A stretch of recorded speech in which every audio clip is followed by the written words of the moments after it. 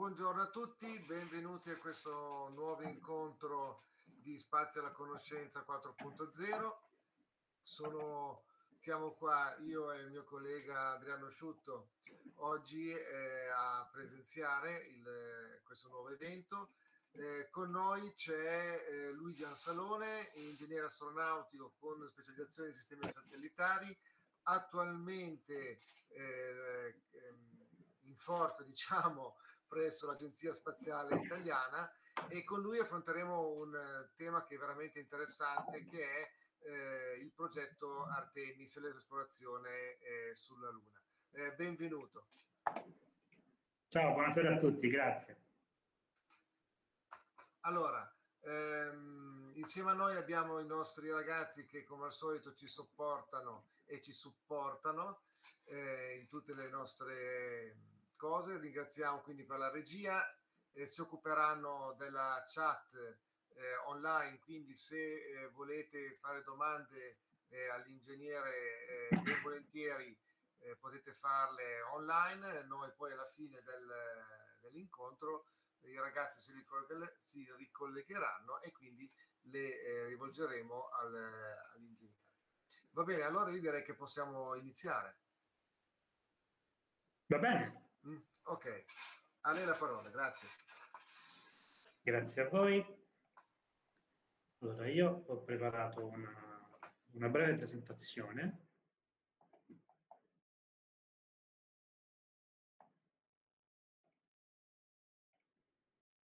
Sì, perfetto, okay. si vede. Perfetto, sì. Va bene. Eh, ho preparato una breve presentazione per eh, raccontarvi un po' dell'esplorazione della Luna e dell'attuale progetto della NASA che si chiama um, Artemis. Quindi, mh, dopo aver raccontato un po' di, di storia, parleremo un po' del, dell'annuncio delle, delle, missioni Artemis, del, dell'interesse verso il polo sud lunare, di, di come arriveremo lì, di quali saranno le strutture a supporto per, per l'esplorazione lunare, parleremo della futura stazione spaziale lunare e poi brevemente andremo a parlare delle missioni Artemis 1, 2 e, e 3 con due brevi chiacchiere sul, sull'HLS che sarà il futuro, il futuro lander. Per eh, cominciare vorrei prima di tutto farvi vedere un brevissimo video dell'Agenzia Spaziale Italiana, così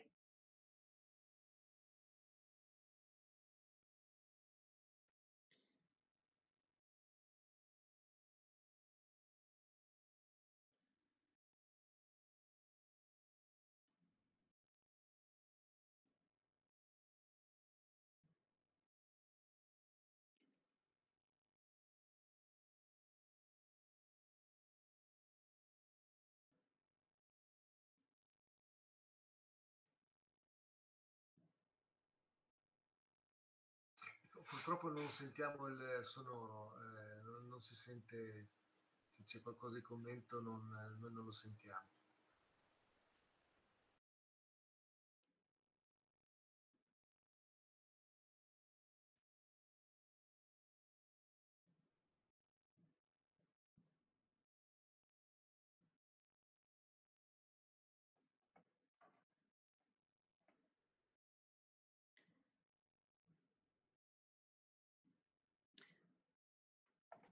E rieccoci qua.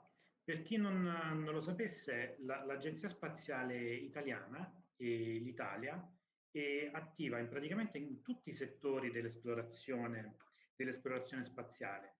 Abbiamo visto nel video le partecipazioni a programmi internazionali come, come la missione Cassini-Huygens, come la missione ExoMars e programmi nazionali di osservazione della Terra, in particolare Cosmos SkyMed, che, che, vede la, che vede la Terra in modalità SAR con un radar che può vedere notte e giorno e Prisma che invece può eh, osservare la Terra in maniera con un sensore iperspettrale. Come comincia l'esplorazione della Luna? L'esplorazione della Luna comincia all'inizio degli anni 60, quando erano alte le tensioni tra tra Stati Uniti e, e URSS, quando finalmente nel 1962 eh, JFK, durante un famosissimo discorso all'università, disse, eh, annunciò al grande pubblico che eh, avevano deciso di andare sulla Luna. We, we choose to go to the moon.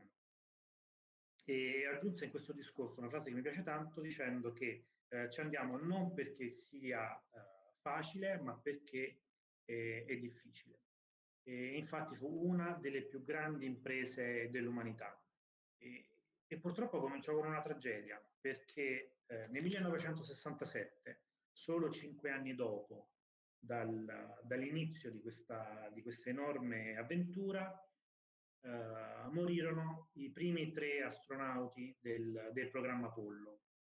E ci fu un problema a terra, purtroppo durante, durante un test, e i, i tre astronauti perirono nel, nell'incidente.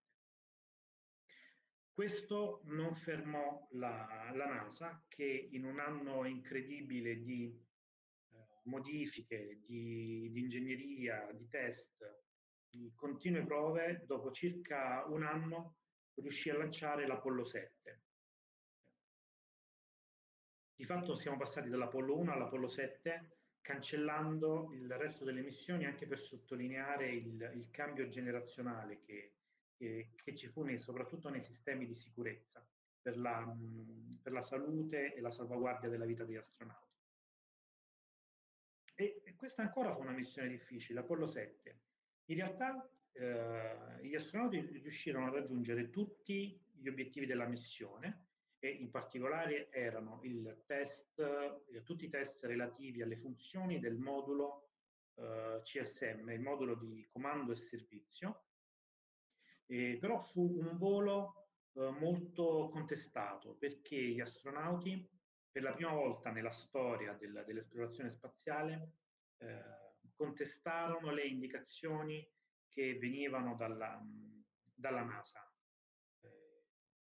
Furono, ci furono dei momenti, dei momenti concitati in cui gli astronauti non volevano obbedire alle, alle soluzioni proposte dal, dal comando di volo alla fine la missione fu un successo, eh, però nessuno di quegli astronauti eh, volò più.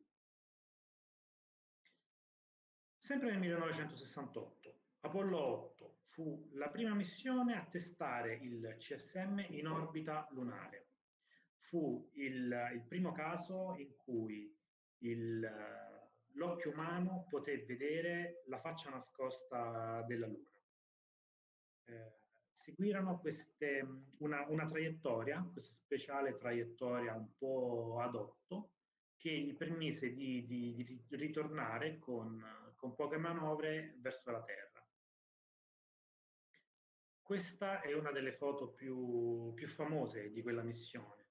Gli astronauti, dopo tre giorni di viaggio, eh, arrivarono sulla Luna, in orbita intorno alla Luna, fecero un giro dietro la Luna e finalmente, dopo il silenzio radio, videro, videro la Terra con questo, con questo spettacolo. 1969, un anno dopo, Apollo 9 fu il primo volo del, dell'EM. Il LEM è questa struttura uh, a, a, destra e, e qui eh, la potete vedere insieme al, al CSM. Quindi il, il vero veicolo abilitante per l'esplorazione lunare era costituito da questi due moduli. Il LEM, qui sulla destra, era costituito da una base di appoggio e da un modulo che eh, ripartiva dalla superficie lunare per raggiungere il modulo CSM che rimaneva in orbita, in orbita lunare. Quindi fu un successo l'Apollo 9 e finalmente riuscirono a far volare il, il LEM ma mancavano da testare ancora tantissime uh, operazioni, tantissimi test erano rimasti da fare. E come vedete c'è un approccio molto, molto graduale e conservativo alle missioni. Ogni missione veniva testato e aggiunto qualcosa di nuovo. Sempre nel 1969, dopo pochi mesi, la missione Apollo 10 eh, compirono delle manovre intorno alla Luna. Ci fu il, il LEM che si separò dal CSM, e poi si ricongiunse, arrivò ad una distanza di circa 10 km dalla superficie e poi ritornò al, al CSM ed insieme ritornarono verso, verso la Terra. Poi di nuovo, ancora dopo un paio di mesi, finalmente Apollo 11 era la prima missione in cui era previsto l'atterraggio degli uomini sul, sulla Luna. Una, una, frase bellissima che molti di voi ricorderanno, anche se siete giovani, è che eh, fu un, un, piccolo passo per l'uomo e un passo gigante per, per l'umanità.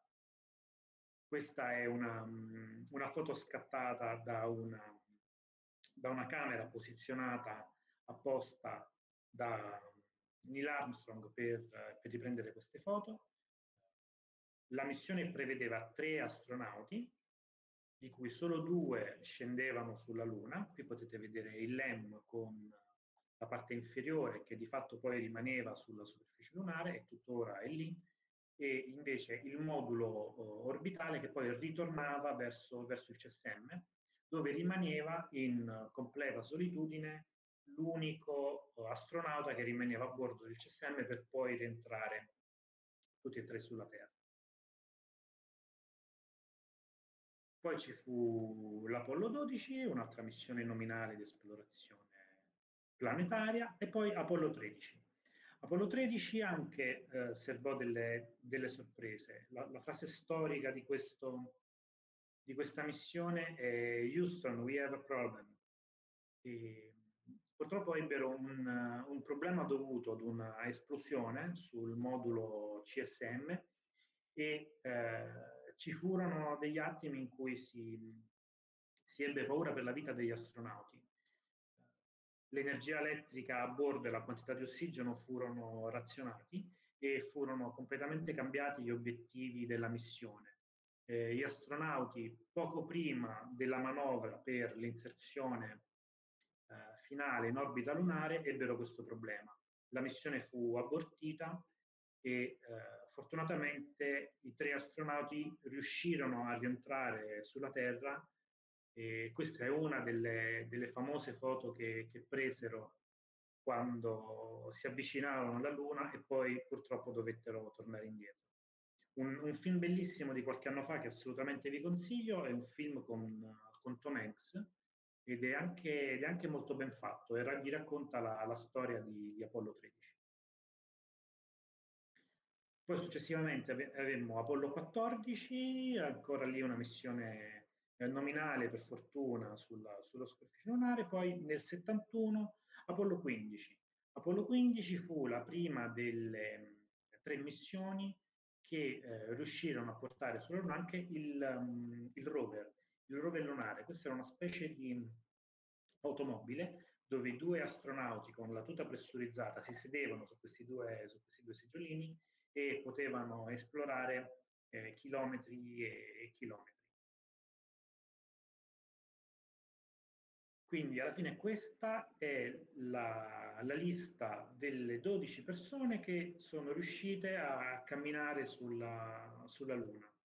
Apollo 11, 12, 13, eh, 13 purtroppo non ce la fece, quindi si passò a 14, 15, 16 e 17. Solo 12 uomini hanno camminato su un pianeta che non sia la Terra.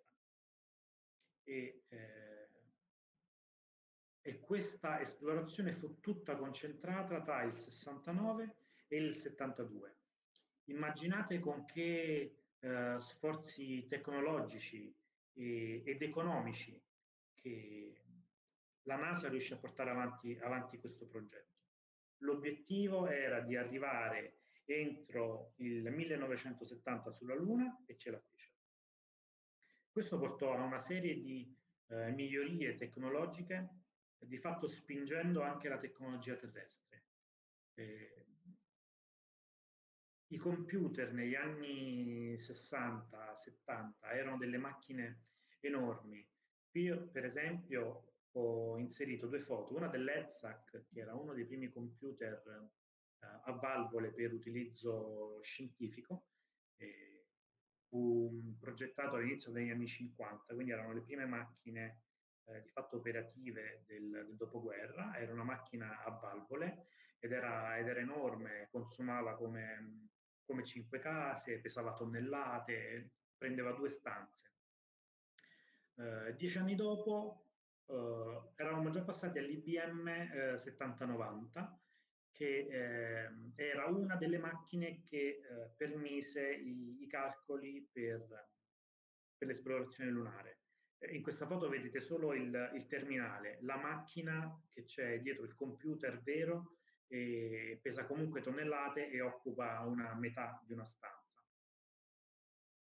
Questo computer è, è stato citato anche in un film che è molto bello, che, che, è più recente di Apollo 13, si chiama Liberi di, di contare e narra la storia di eh, alcune donne afroamericane che aiutarono con i loro calcoli, perché prima, prima dei calcolatori elettronici veniva tutto fatto a mano e loro aiutarono con i loro, con i loro calcoli fatti a mano, aiutarono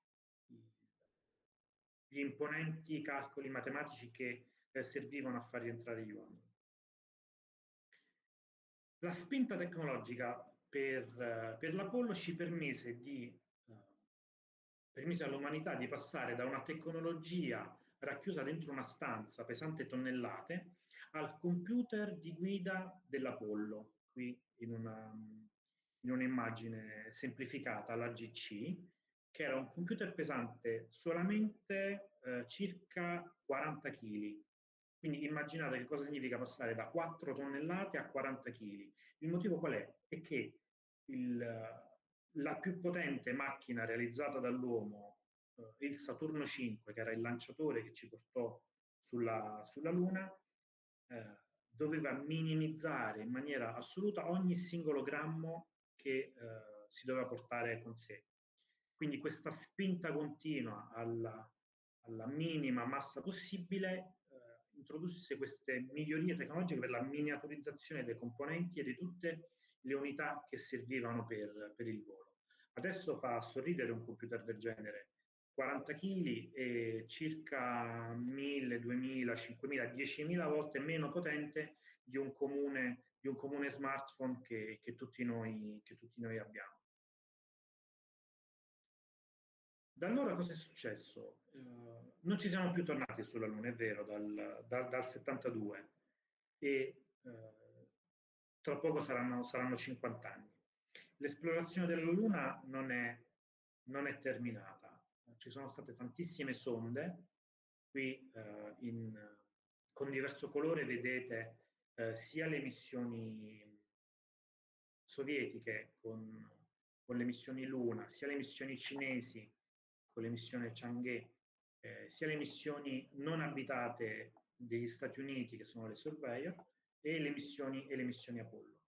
Di fatto, dopo il 76, con la Luna 24, c'è stato un, un buco di più di 30 anni fino ad arrivare ai cinesi, ai cinesi che dal 2013 hanno ricominciato ad, uh, ad esplorare la Luna con Chang'e 3.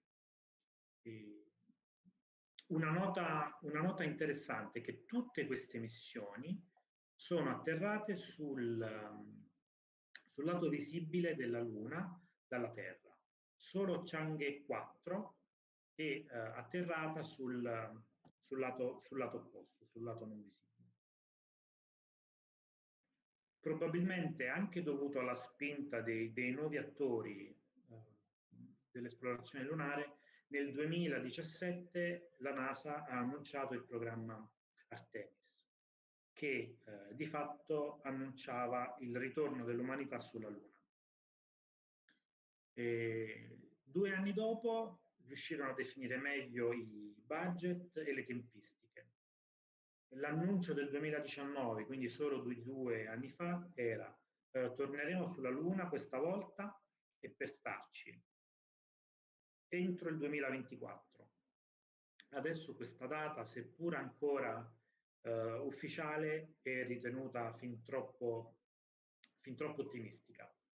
Uh, qui in un'immagine vedete una futura concezione di una, di, un, di una, base lunare che uh, attualmente non è, non è, nei piani, è solo un'immagine grafica, però l'obiettivo è tornarci sulla Luna per, ehm, per rimanerci, ovvero una persistente o quasi esplorazione, esplorazione lunare. Di fatto con la stazione spaziale riusciamo a mantenere la continuità della presenza dell'uomo nello spazio e il passo successivo è proprio questo, ritornare sulla Luna e mantenere la continuità del, dell'uomo, dell'uomo sulla Luna. Qual è l'obiettivo? L'obiettivo è raggiungere il polo sud, il polo sud lunare. Eh, perché lo, mm, mi aiuto con, con un video.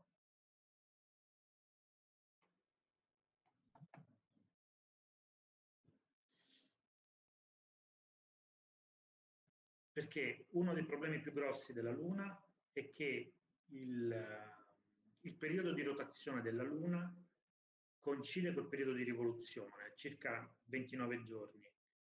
Quindi di fatto il vero problema dell'esplorazione lunare è la lunghissima notte lunare, che dura ben due settimane. E quindi è importantissimo andare a cercare le zone della Luna più illuminate dal Sole.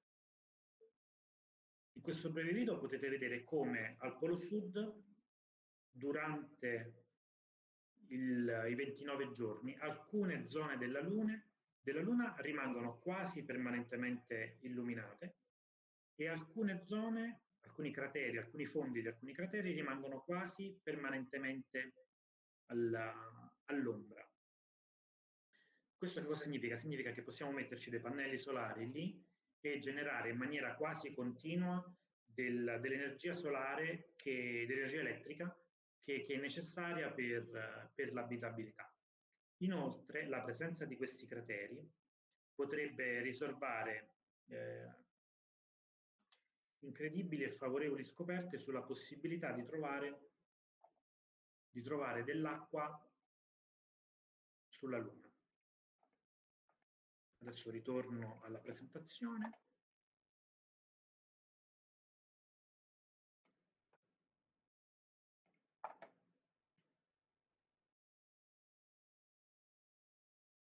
Crashato, crashato qualcosa. Sì, non si vede la presentazione. Perfetto, grazie. Okay.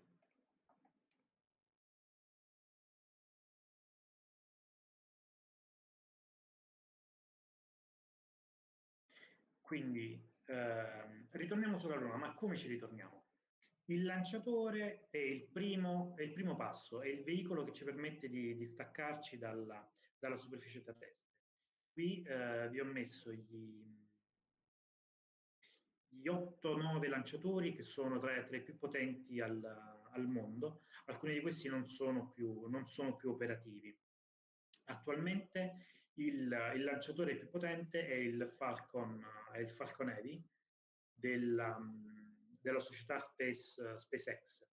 E successivamente avremo l'SLS, che sarà il primo, il primo lanciatore pesante della, sviluppato dalla NASA a volare dopo il Saturno 5, e poi avremo anche l'SLS eh, Cargo, che non porterà uomini ma solo, ma solo materiale.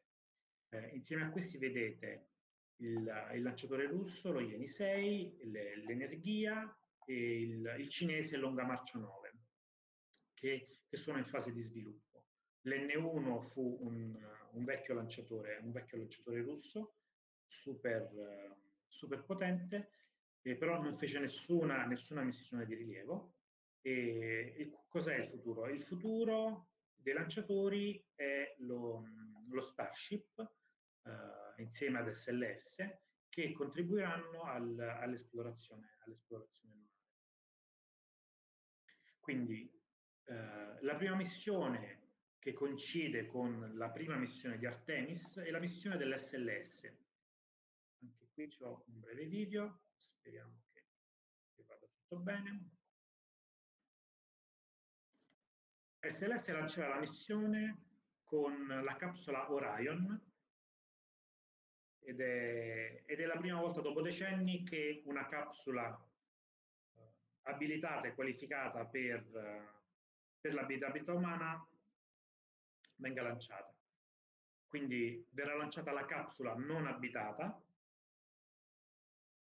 si farà il giro intorno alla Luna e poi tornerà verso la Terra. Qui vedete il distacco del, del modulo di rientro dal modulo di servizio.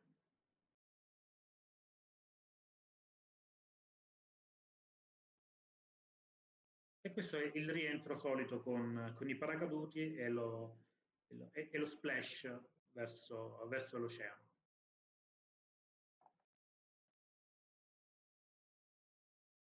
Quindi eh, a breve verrà lanciato SLS e probabilmente tra la fine e l'inizio di, di, questo anno. E, e sarà il vero, oh, il vero, fattore abilitante per ritornare, per ritornare oltre l'orbita terrestre. E, il gateway sarà una delle infrastrutture necessarie per l'esplorazione lunare. Eh, qui potete vedere molto, in maniera molto sintetica che ci sarà un modulo dotato di pannelli solari chiamato il, il PPE, poi ci sarà l'ALO, che è questo nodo centrale per l'abitabilità la, e la logistica degli astronauti, con dei moduli eh, accessori, tra cui l'IAB, cui contribuisce l'Agenzia Spaziale Europea, e, e il modulo ESPRIT, sempre, eh, sempre fornito dal, dall'ESA. Sulla destra potete vedere il modulo con la capsula Orion.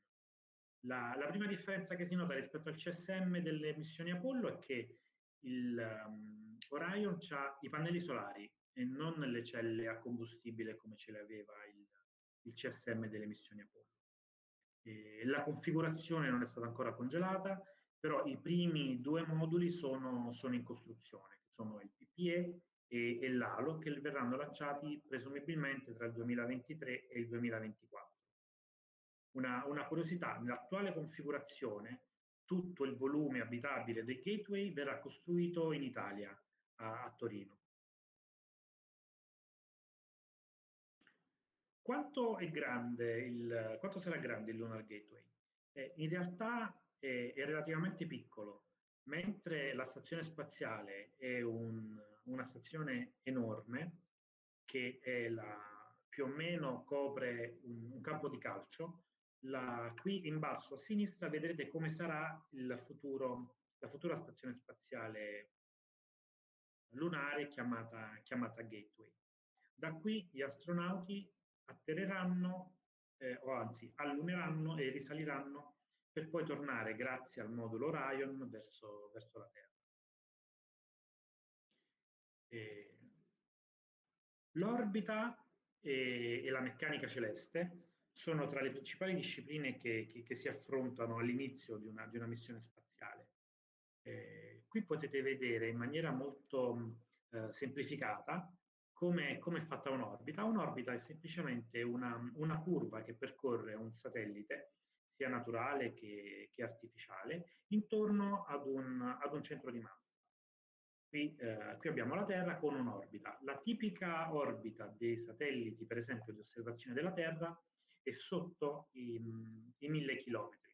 E qui in scala potete vedere quanto uh, mille chilometri siano, siano pochi. Qua sulla, sulla destra avete, avete chilometri, le migliaia di chilometri. La stazione spaziale è a soli 400 chilometri sulla superficie terrestre, quindi poco al di fuori, letteralmente poco, pochissimo al di fuori dell'atmosfera.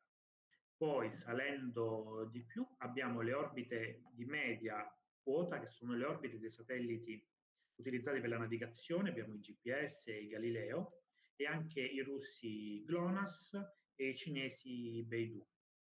Ancora più su, a uh, 36.000 km di distanza dalla superficie, abbiamo i satelliti geostazionari, quelli che rimangono fissi nel cielo e ci permettono di ricevere la televisione satellitare con delle antenne fisse. Le nostre antenne che guardano i, i satelliti geostazionari possono essere fisse perché i satelliti sembrano fissi rispetto alla Terra perché ruotano con un periodo di rotazione che è uguale a quello del periodo di rotazione della Terra. L'esplorazione della Luna sarà, sarà più complessa perché il, il gateway non orbiterà intorno né al centro di massa della, della Luna né intorno al centro di massa della Terra, ma eh, sfrutterà un'orbita speciale intorno ai punti di Lagrange. Questi sono, nella dinamica dei tre corpi, sono dei punti speciali, che sono questi qua, sono cinque punti, questi qua sono riferiti al sistema eh, Terra-Sole, ma si possono trovare per, tutti, per tutte le coppie di corpi. In questo caso il terzo corpo è il corpo, eh, è il corpo satellite artificiale. Eh, abbiamo i punti L1, L2 ed L3 che sono punti instabili e i punti L4 ed L5 che sono invece dei punti stabili. Che cosa significa stabile o instabile? Significa che una piccola perturbazione intorno ad L4 eh, permette al satellite artificiale di ritornare nella posizione di equilibrio, mentre invece una piccola perturbazione intorno ai punti L3, L1 ed L2 invece allontanano in maniera eh, indefinita il corpo dal, dal punto di equilibrio. Eh, tra questi punti possiamo vedere che il punto L2 è uno dei punti più interessanti perché ci permette nel sistema Terra, Luna e Stazione Spaziale di essere vicini alla Luna in un'orbita, è vero, instabile, quindi semplicemente richiede delle correzioni periodiche però molto ben calcolabile e assolutamente molto, molto sicura. Quindi l'orbita che compirà il, il, Lunar Gateway sarà un'orbita um, mai uh, testata prima con, con, la presenza di uomini a bordo, è un'orbita di tipo NRHO, è una quasi uh, rettilinea halo orbit. Le, le halo orbit sono quelle orbite quasi periodiche che ruotano intorno ai punti, ai punti di Lagrange. Qui di fatto potete vedere in scala, qui in alto a destra, in base ai sistemi di riferimento di proiezione dell'orbita, quanto sarà distante dalla superficie lunare eh, la stazione spaziale fino al punto più lontano del, della Luna, che è qui, al, al perisileno, in cui sarà molto lontana. Questa orbita pur essendo in questo punto in cui il satellite è molto lento e molto lontano, permette dei benefici unici per quanto riguarda le, eh, le telecomunicazioni con la Terra in particolare. Adesso in che punto siamo? Adesso siamo nella, nella piena attuazione delle, delle, missioni Artemis. Le missioni Artemis sono divise in due fasi. Abbiamo la, la prima fase che è il ritorno alla, alla superficie lunare. Quindi abbiamo che eh, a breve avremo la missione Artemis 1, poi dopo un anno Artemis 2 e successivamente cominceremo a costruire il, uh, il gateway fino ad arrivare alla missione Artemis 3. Artemis 3 coincide con il primo utilizzo del, dell'HLS, dello Human Landing System. Prima dello Human Landing System avremo una serie di eh, lander e rover che esploreranno la superficie lunare. Eh, di fatto saranno degli anni super intensi per quanto riguarda i lanci e le attività spaziali, anche grazie a un'iniziativa commerciale eh, prevista dalla NASA che permetterà ai privati di raggiungere eh, la, superficie, la superficie lunare.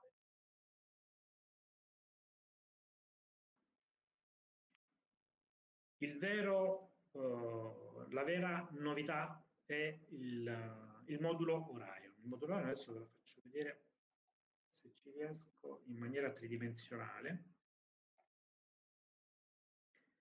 E questo qui. Qui a sinistra lo potete vedere in versione mh, racchiusa, come viene lanciato, e qui a destra invece in modalità ehm, estesa, come si troverà nello spazio nel momento del distacco.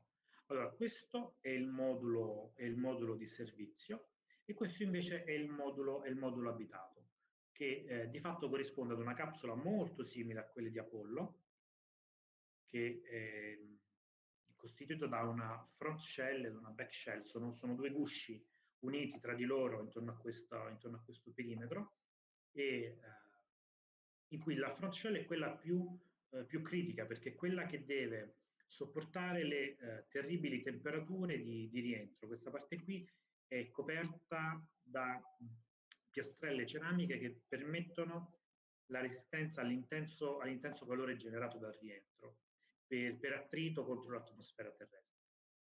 Questo, uh, questa capsula Orion è fatta dai, dagli Stati Uniti, dalla NASA, mentre invece il modulo di servizio che vedete qui in basso è un, anche grazie ad un contributo europeo, alcune parti vengono fatte, vengono fatte in Europa e viene assemblato in, in Europa, eh, il cui design è mutuato da un, un veicolo che, europeo che raggiungeva la, la stazione spaziale, che è l'ATV, che è l'Automated Transfer Vehicle, che eh, invece di avere una capsula abitata per, per gli astronauti aveva un, un, un, modulo per il trasporto di, di materiali e di eh, elementi necessari per la vita a bordo della, della stazione spaziale.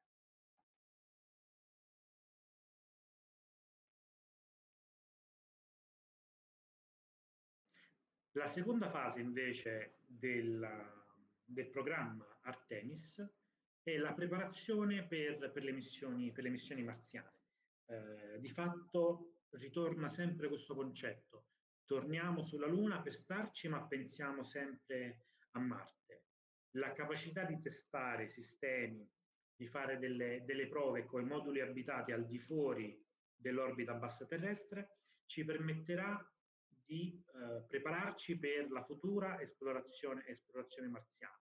Qui potete vedere in, maniera, in, maniera, grafica diversi, diversi, step che verranno fatti in, in favore della, della continua esplorazione umana della superficie lunare e della continua uh, permanenza a bordo del, del, del, gateway, che all'inizio verrà uh, abitato solo per, uh, solo per poco, perché di fatto siamo limitati dal, dal, lanciatore, che di fatto lancerà solo una volta all'anno e, e, le missioni dureranno, dureranno poche settimane.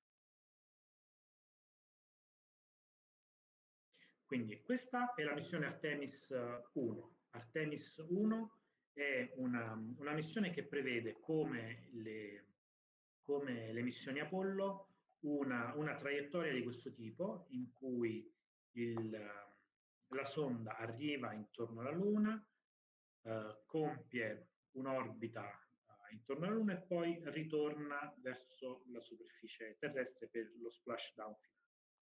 Questa missione sarà eh, ovviamente non abitata perché dovremo testare tutti i sistemi e qui ritorna l'approccio molto, eh, molto tipico di queste missioni, molto conservativo.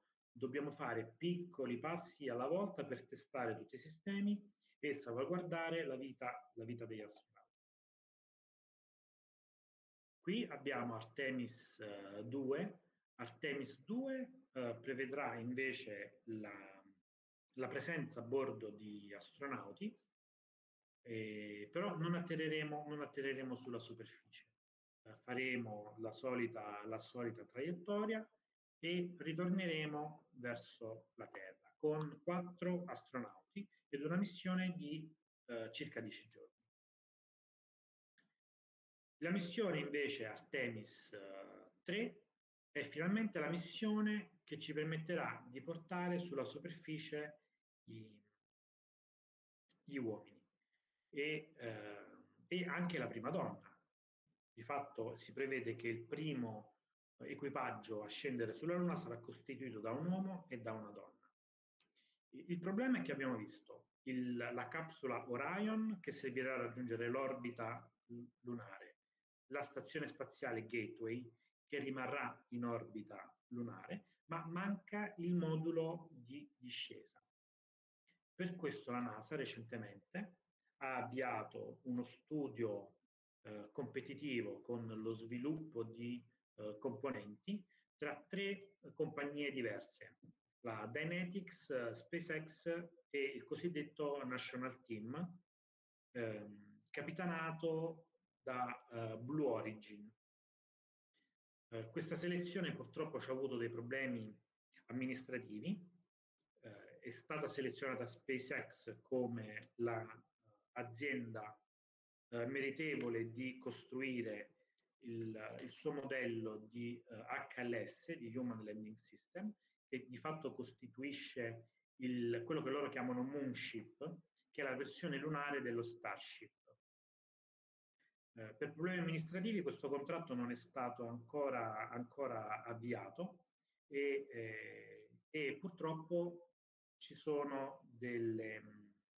Adesso si è in tribunale per cercare di risolvere la, la questione per una procedura non completamente trasparente, secondo, secondo alcuni, usata, usata dalla NASA. E, ehm, questi saranno, questo, probabilmente questo veicolo centrale di SpaceX sarà il veicolo che ci permetterà di rientrare sulla Luna. Come vedete ci sono tre configurazioni completamente diverse. Quello a, a sinistra era un modulo molto basso con i serbatoi laterali e i pannelli solari in verticale, mentre invece il National Team eh, prevedeva una struttura molto simile a quelle di Apollo, con una struttura inferiore che rimaneva sulla superficie ed un modulo di, di ascesa, mentre invece SpaceX ha puntato tutto su una struttura molto più grande, molto più eh, capace di trasportare materiale e uomini, con la possibilità di avere una sorta di eh, sistema di carrucole per la discesa degli astronauti sulla, sulla superficie. Eh, di fatto il contenzioso avviato non ci permetterà sicuramente di arrivare sulla superficie lunare entro il, il 2024. E ultimamente sono uscite le notizie per cui anche lo sviluppo delle tute lunari di nuova generazione eh, sarebbe in ritardo e quindi ehm, tutta la comunità scientifica e delle agenzie spaziali aspetta a breve l'annuncio della NASA, una volta risolti i problemi contrattuali per, per l'HLS, eh, si aspetta a breve l'annuncio della NASA che non ce la faremo a tornare entro tre anni sulla, sulla superficie lunare. E questo chiude la mia, la mia presentazione, vi ringrazio tutti, ovviamente sono, sono super disponibile a rispondere alle vostre domande e vi consiglio di rimanere in contatto con l'ASI che ha eh, ovviamente diversi, diversi siti internet, il principale è asi.www.asi.it e abbiamo anche i nostri canali social, per cui Facebook, Twitter, eh, eccetera. E vi ringrazio tanto per, per l'attenzione. Grazie Alessio, veramente interessante l'avventura sulla Luna è sempre qualcosa che affascina. E l'idea di tornarci, speravo prima, sinceramente, è qualcosa che mi ha colpito. Soprattutto ieri ho visto la, il lancio di Space Origin con Captain Kirk che è andato su sì. e ho visto l'intervista che ha rilasciato appena sceso a Bezos. Era proprio colpito, era emozionatissimo, continuava a dire era lì, era, era azzurra, era lì. e, e, quindi magari bene, ci torniamo presto. Invece sembra, insomma, problemi ce ne sono. Son, sembra più burocratici quasi. Eh, sì, purtroppo sì, perché di fatto la NASA mette a disposizione eh, tantissimi fondi il contratto per, per l'HLS è di circa 3 miliardi di dollari per lo sviluppo del, dell'ender. Quindi di fatto i soldi erano stati stanziati ed erano disponibili. E anche sui giornali potete trovare la lotta tra due miliardari, cioè Jeff Bezos che sta facendo questa causa legale contro, contro Elon Musk, che, che invece è il, è il proprietario del, dell'azienda vincitrice, la, la, la SpaceX, che tuttavia sta molto più avanti. Se pensate che SpaceX ha una, una, una compagnia che gestisce i voli del Falcon, il Falcon 9 e del Falcon Heavy attualmente, e eh, che ha un grandissimo ritorno mediatico, che ha lo Starship in, in costruzione e a breve dovrebbe volare per il primo test orbitale. E di fatto i loro lanciatori vanno e vengono soprattutto perché per la prima volta nella storia hanno i booster che rientrano da soli sulla, sulla superficie terrestre, mentre invece il uh, Blue Origin, che è la, la compagnia fondata da, da Bezos, uh, di fatto per adesso eh, è riuscita a far volare quel veicolo su cui uh, stanno volando in maniera, in maniera commerciale anche i privati, e, però di fatto raggiungono i 100 km, il volo dura pochi minuti, provando l'assenza di gravità e poi ritornano in verticale al, al punto di partenza. Quindi di fatto non raggiungono l'orbita, però per definizione, superando i 100 km dalla superficie, si possono definire come viaggiatori spaziali. Ho, letto, ho, visto, ho seguito anche un pochettino eh, la, invece l'avventura con SpaceX dei quattro eh, privati, diciamo, i primi quattro privati, nessuno di loro pilota che ha fatto tre, eh, tre giorni intorno alla Terra. Eh, sì. è stato veramente, anche quello veramente emozionante. Le foto che ci sono di quando hanno aperto il, il, la cupola. la punta, la cupola, le foto sono incredibili. Eh, sì. Stai citando il primo volo senza nessun astronauta professionista. Sì i, tre, I quattro passeggeri hanno fatto un, un brevissimo addestramento e, e, l'hanno, e l'hanno messi su, su, un Falcon 9. E di fatto questo ha fatto capire al grande pubblico che lo spazio sta diventando sempre più vicino e sempre più accessibile. Speriamo che... Beh, io avevo letto qualche tempo fa una storia che i primi voli aerei costavano uno sproposito, anche lì sui 250 mila dollari. Quindi più o meno se il volo di, con Bezos so che costa più o meno, o anche con la Virgin Galactic, la cifra dovrebbe essere quella. Esatto. Eh, nel tempo magari si riesca ad avere, non dico i 29 euro che ci servono adesso per andare a Parigi, per andare su nello spazio, però insomma a prezzi più ragionevoli. Eh, chiediamo ai ragazzi che se hanno raccolto qualche domanda. Sì, sì. Da YouTube non ci sono domande. Mm, ok.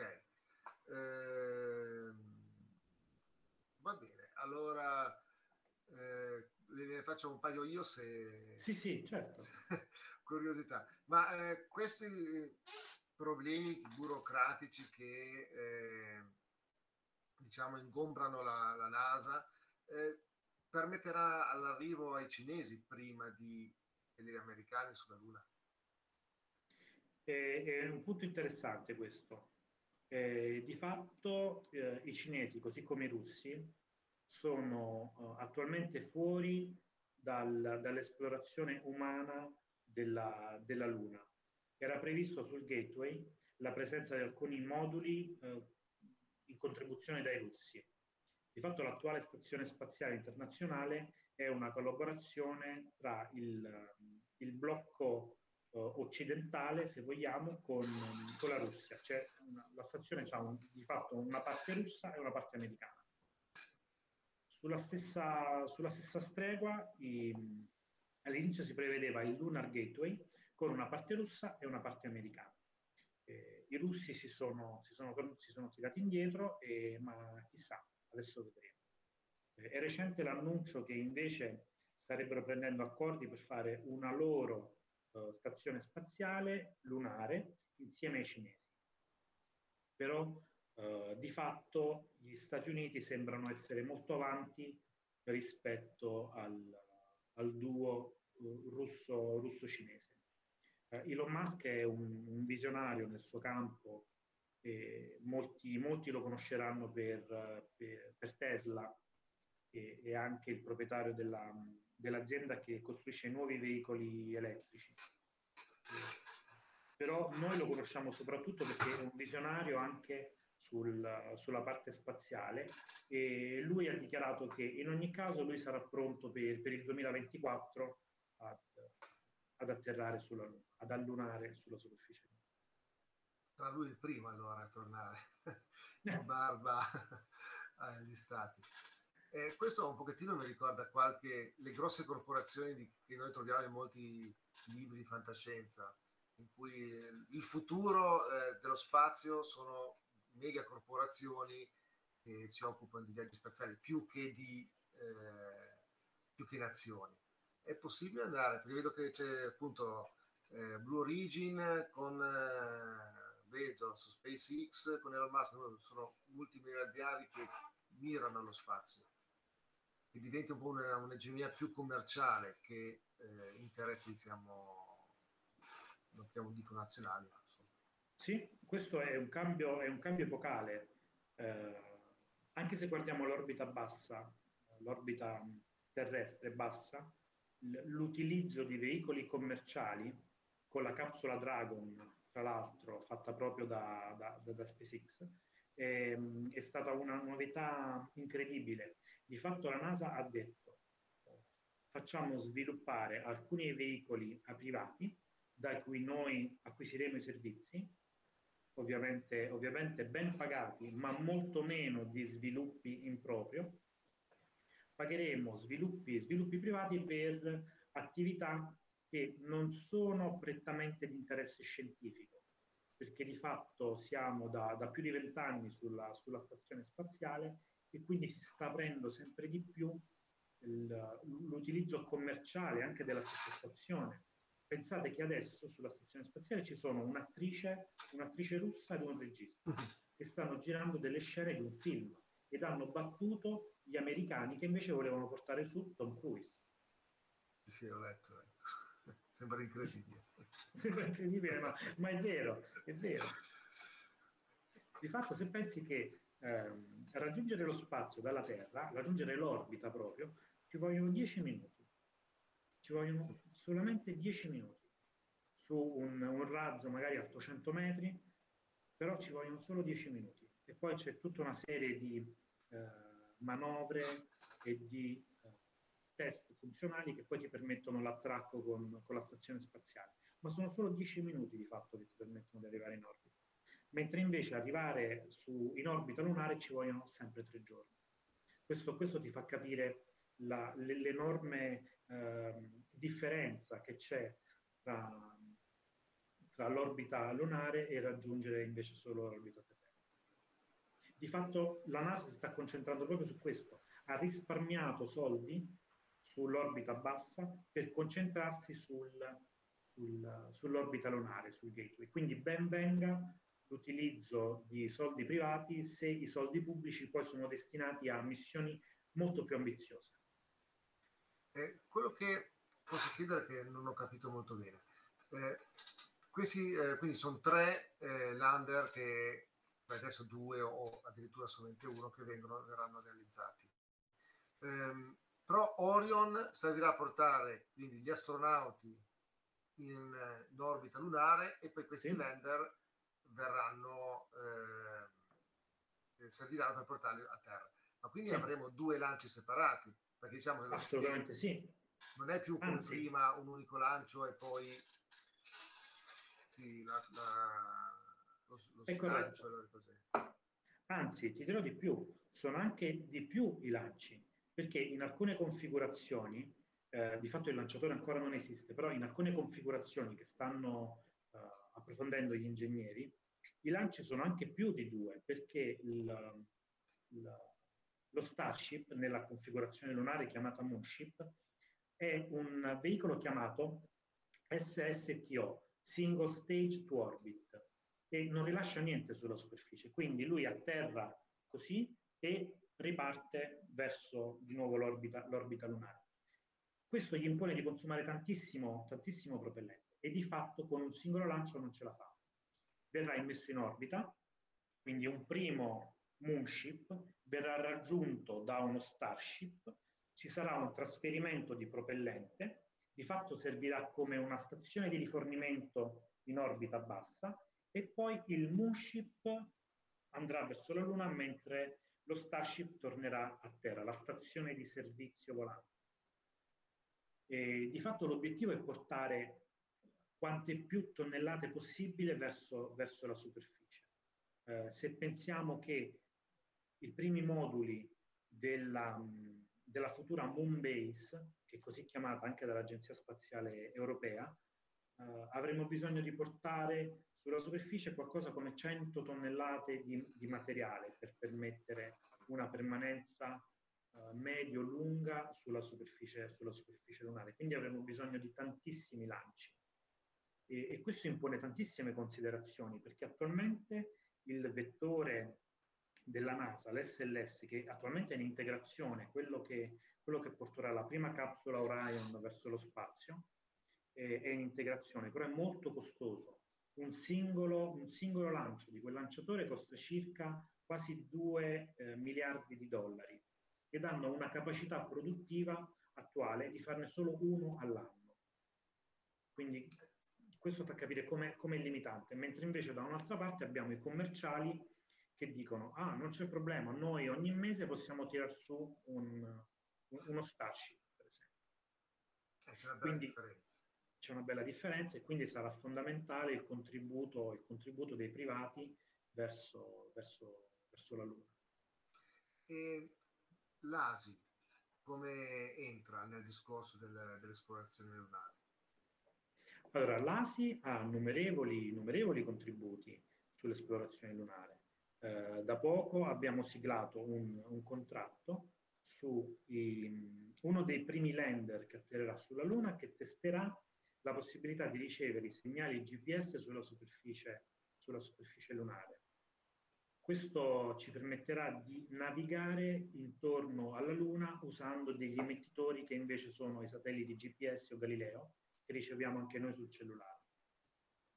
Eh, mentre per quanto riguarda il, il Lunar Gateway, eh, l'Italia contribuisce attraverso l'ESA, che è l'Agenzia Spaziale Europea, ai due moduli che sono l'IAB e, e l'ESPRI, e, mentre per quanto riguarda Orion, l'Italia contribuisce attraverso il modulo di, di servizio del, della capsula Orion.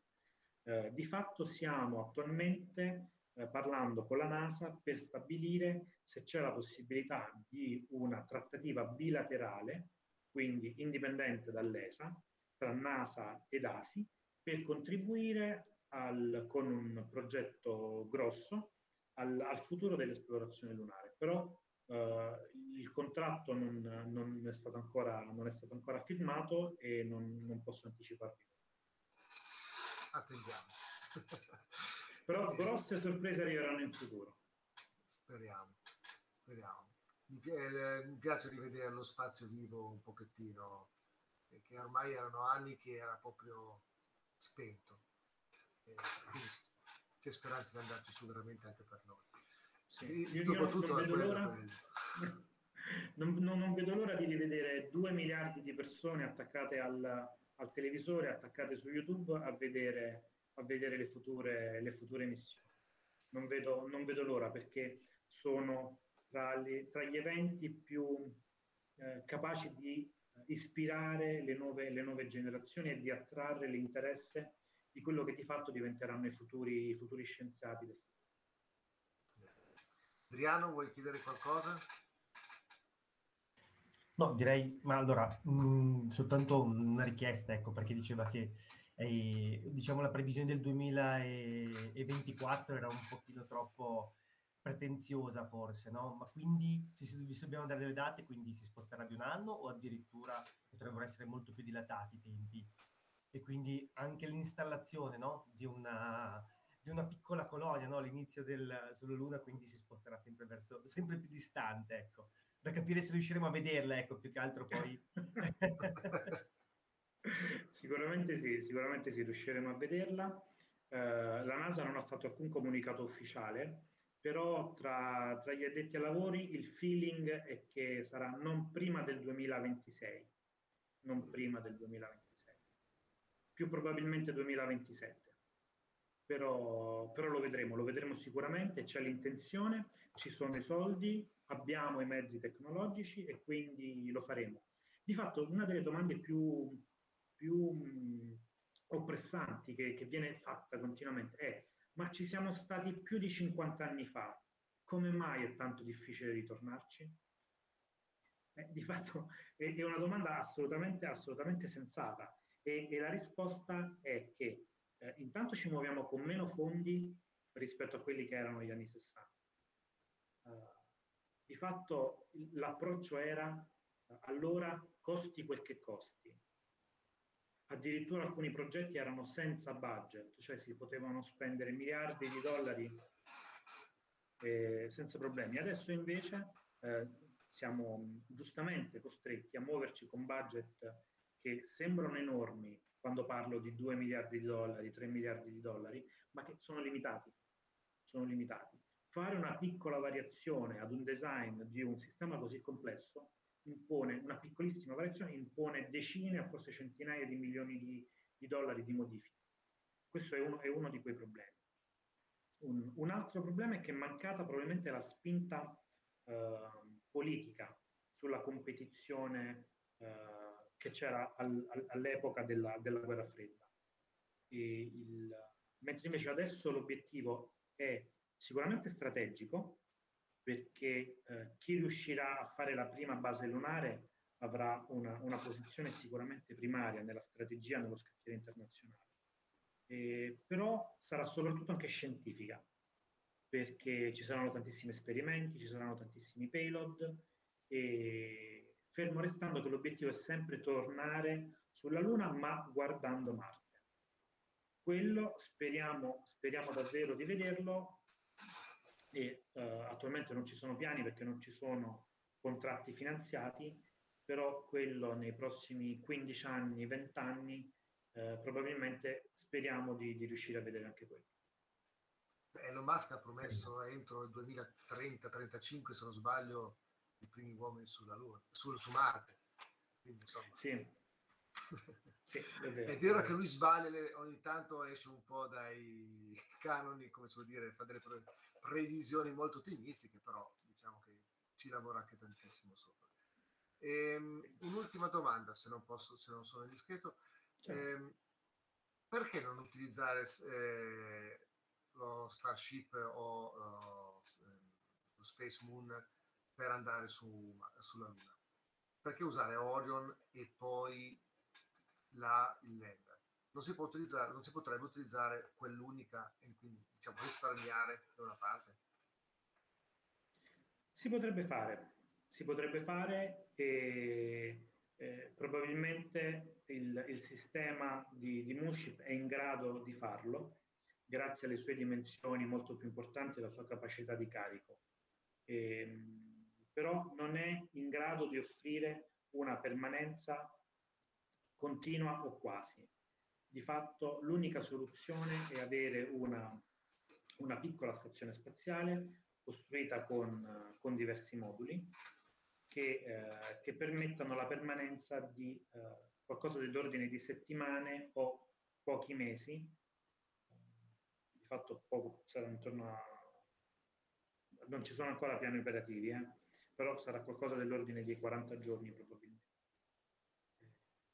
in orbita, in orbita lunare, mentre invece il uh, SpaceX si sta concentrando sulla parte di, di, di, lancio, sulla parte proprio dei lanciatori per, per l'allunaggio e poi il successivo, il successivo rientro. La Moonship una volta utilizzata rimarrà lì in orbita in attesa di altri astronauti per tornare giù o verrà persa?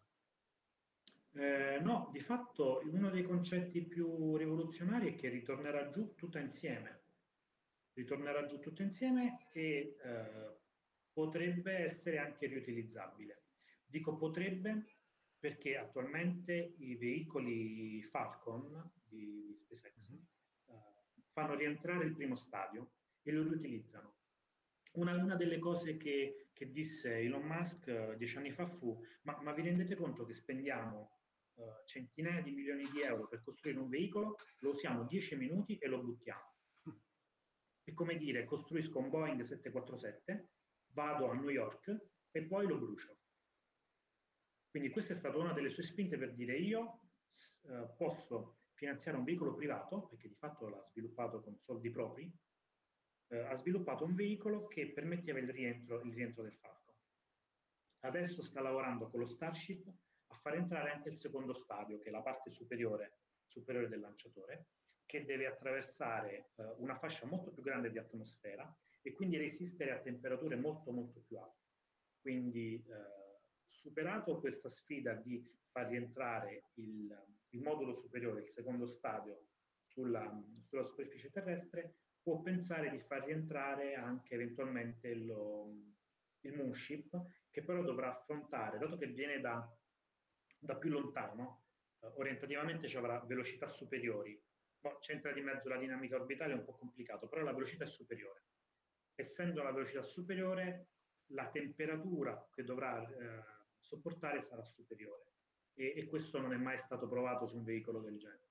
Quindi non attualmente non c'è, non, non c'è la confidenza che, che questo possa essere fatto in maniera sicura. Però eh, sono sicuro che anche lui ci riserverà delle sorprese, delle sorprese nei prossimi 5-10 anni incredibili. Ah, secondo me anche prima.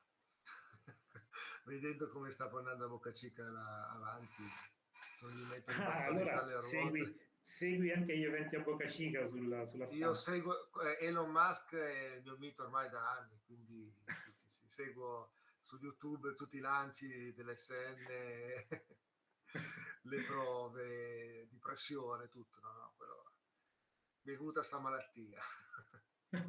è una sana malattia, meno male. C'è di peggio. Sicuramente, però non vedo l'ora di salirci anch'io, diciamo, faccio un giro. Va bene, eh, io direi che possiamo terminare qua. Eh, ringraziamo Ansalone per la sua eh, presentazione, per averci dedicato tutto questo tempo a rispondere alle curiosità nostre, più che altro mie.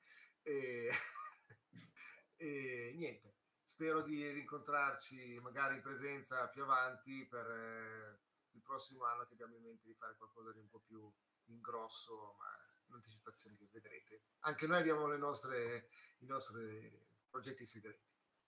E va bene, quindi ringraziamo il ingegnere Salone, ringraziamo eh, Adriano che ci ha seguito in questa diretta, ringraziamo i ragazzi che ci hanno aiutato. Eh, io eh, domenica, sabato scusate, mi sono dimenticato di ringraziare eh, i ragazzi del turistico che hanno accolto gli ospiti all'evento con, il, con, con Tommaso Ghidini che si sono messi a nostra disposizione e, e lì sul palco poi me ne sono dimenticato, ma è giusto ricordarli perché anche loro a ogni evento facciamo eh, in diretta, da, in, scusate, non in diretta, eh, dal vivo ci danno una grossa mano. Quindi grazie a tutti e direi ci vediamo la prossima volta. Eh, grazie, grazie a voi. Un, grazie un fortissimo grazie e speriamo di vederci in presenza la prossima volta. Sì e per parlare dello sbarco magari sulla Luna, chissà. Perché no? Eh, grazie a tutti. O vederlo insieme. Vederlo magari, insieme. vederlo insieme. Essere, magari vederlo insieme, certo. Meraviglioso. Fare una diretta durante lo sbarco, magari. Presto. Ok, grazie a tutti. Grazie a tutti, buona serata. Presto, grazie.